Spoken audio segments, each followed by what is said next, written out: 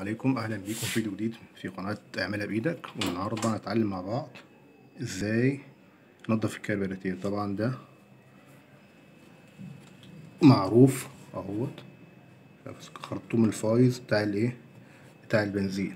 بحيث لو في عوامة جوه هنا لما البنزين بيملى هنا عشان المكنة ما تشرقش منك بيبدأ ينزل في الفايض أو تكون عوامة معلقة. تمام؟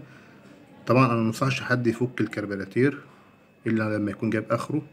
وبرضه ما انصحش حد يلعب في المسمار ده ياما هو ده المسمار اللي إحنا إيه آه هنغير عن هننضف بيه الكربيراتير عشان في ساعات المسمار ده لما بيتحل تيجي تربط تاني تلاقي برضه البنزين شغال والمسمار معلق مش عايز يتربط معاك.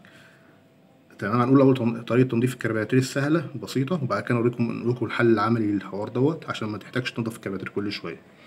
أنت أول حاجة بتعملها بتفتح المسمار ده وتسيب ويصفي طبعا هجيب حاجة تحطها تحت عند الخرطوم. الخرطوم معاك اهوت سهل حركة يعني. تجيب حاجة تحطها عند الخرطوم من تحت عشان ما يغرقش الدنيا. تمام؟ ممكن تستفاد البنزين ده تغسل بيه حاجة عندك أو تنضف بيه أي حاجة يعني مفيش مشكلة. تمام؟ وبعد كده تروح قافل حنفية البنزين. حنفية البنزين طبعا الناحية التانية كلنا عارفين مكانها. تمام؟ بعد ما تقفل حنفية البنزين تبدأ بقى تقفل المسمار بتاعك. لحد ما تحكم. طبعا ما تقربش على حاجة جامد كل حاجة بإيه؟ لها سنس وتحاول تجيب مفك يكون كويس عشان خاطر ما إيه؟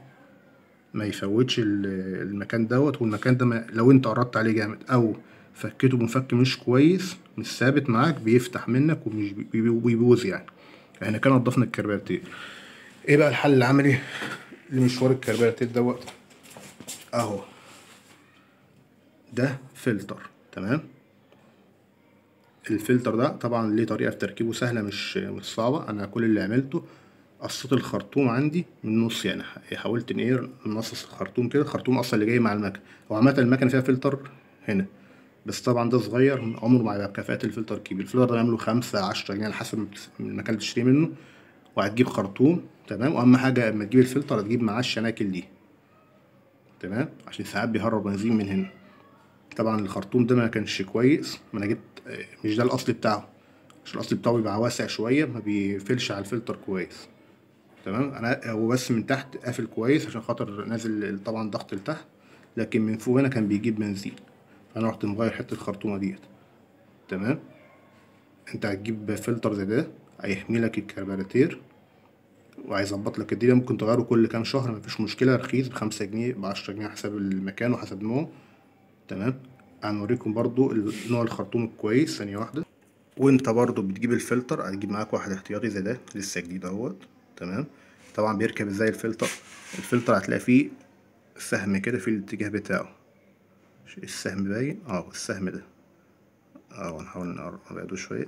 بيركب كده تخلي القطعة البيضاء دي تحت والقطعة دي والتيل فوق تمام؟ دي فيها مغناطيسة برضو من جوه اهيت لو في برضو إيه رواسب نازلة من التانك ولا حاجة بتلمها.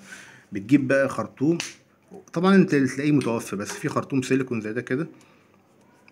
هو كده كده خرطوم منشف مع الوقت يعني ما تشغلش بس ده في تركيبه هيبقى مرن معاك ومش هيعطلك. وأهم حاجة قلنا الإفيز بتاعه.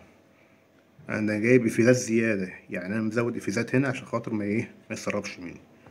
هتركب فلترك يا معلم وانسى بقى حكاية الكربيراتير ديت وكل فترة تغير الفلتر مفيش مشكلة إن شاء الله كل شهر. أنت بقى وخيالك. تمام؟ ويا ريت يعني لو الفيديو عجبكم تدعمونا بالاشتراك. والسلام عليكم ورحمة الله.